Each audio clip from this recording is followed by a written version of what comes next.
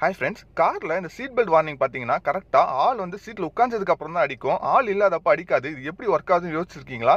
இது எப்படி ஒர்க் ஆகும்னு பார்த்தீங்கன்னா சீட்டு கடையில் வெயிட் சென்சார்னு வச்சிருப்பாங்க. அந்த வெயிட் சென்சார் என்ன பண்ணோம்னா அந்த சீட்டில் வெயிட் இருக்கும்போது மட்டும் ஆள் யாரோ உட்காந்துருக்காங்க அப்படின்னு சொல்லி ஈசிக்கு சிக்னல் கொடுக்கும்.